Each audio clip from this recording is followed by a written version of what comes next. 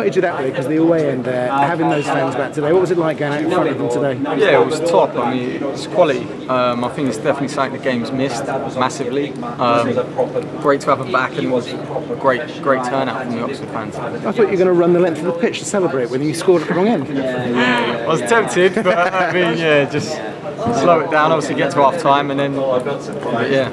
The um, the other thing you learned today is quality into the box. It's a quality cross, Matty Taylor has a little touch. We get some good service into the box. Yeah, You're going to have to get on the end of that. Definitely. I mean, you know, Fordy's delivery, uh, Willow's delivery is, is good quality.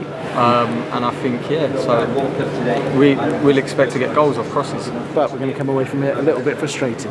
Definitely. But I think that's, you know, if you don't come away from any game with three points, then you're a bit frustrated, you're a bit down. But to be fair, coming away from home, first game the fans are back. I think first game of the season, you know, it's not it's not the end of the world. It's something to build on, and we can go from there. Yeah, I think if we come back from 1 0 down and draw 1 all, everyone's, yeah, that's It's a a good better point. feeling. It's a better feeling, definitely. But um, you know, it's what it is. It's now something that we've got to turn into a positive and build. on.